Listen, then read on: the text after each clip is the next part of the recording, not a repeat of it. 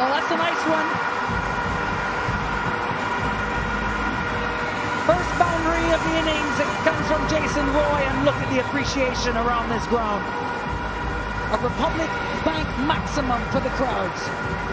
Well, he had to hit it. It was a long way across, probably in front of off stump. Had to get bat on it, Jason Roy, and he did just enough, 64 metres, which means he's only just cleared that boundary on the leg side. What a shot. What a welcome. Post the power play.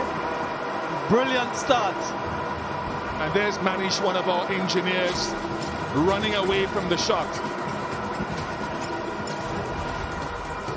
It's lovely. Choosing to go mid-off because there's a long on. I haven't seen Nokia take pace off the ball yet. He's got a really good couple of slower deliveries, versions of it.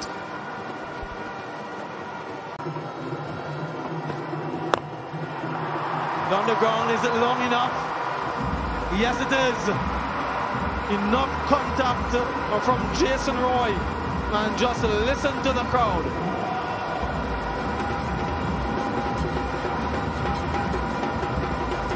Patriots hit nine sixes in their innings in addition to 16 fours. Little cut of a two full. And Jason Roy has now hit three of the four that the Knight Riders have hit, and they need to hit some more.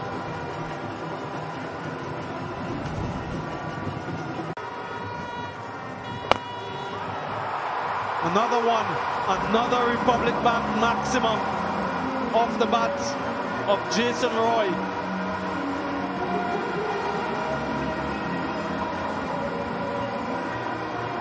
It is a terrific shot, no wind, remember, coming off that eastern side, but again, the length too full.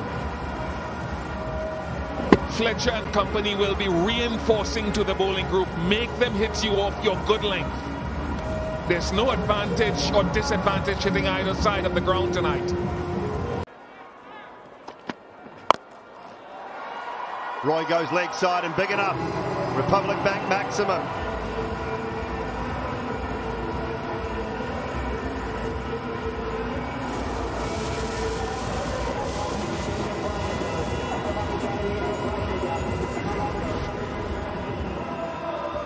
Jason Roy showing that it's a good enough surface that if you're off target, you can be punished. No one's been able to get on top of the bowling so far, though. swung well leg side into the slight breeze, but it has got so much on it. Very difficult to get your eye on the ball through that mess that's under the hat. Six more for Jay Roy. If you can't get to him down the track, then if in doubt, sweep. It keeps Noor Ahmad in the contest with that length. My goodness, keep your eye on it, fella.